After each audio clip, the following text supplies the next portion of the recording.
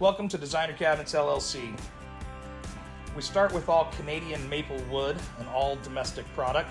Chinese wood typically comes with formaldehyde, and often we find the boards are warped. Using a line bore press, we're able to simultaneously punch all the shelf pin holes to keep them perfectly uniform and square. You can see frameless construction of all sizes and shapes.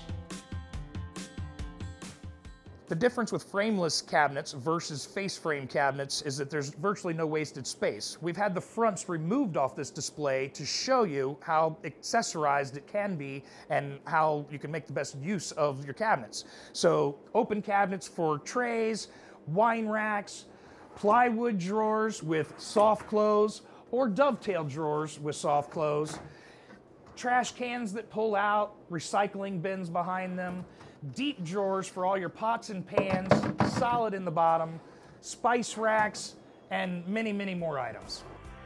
This is our edge banding machine, which puts the veneer on the end of the plywood, routers it, glues it, and cuts it.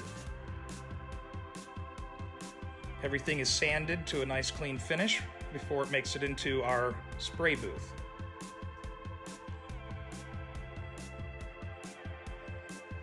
State-of-the-art spray booth has a dual pump action system in there with lacquer rinse. Any color, any style.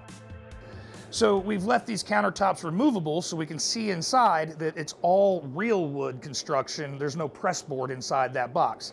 See, sometimes you purchase things that look like wood, but they're really fiber on the inside versus solid wood. We have a variety of different colors, any paint in the Sherwin-Williams color wheel, any stain, and multiple styles. We're an award-winning company. Looking forward to serving you with your next cabinet project.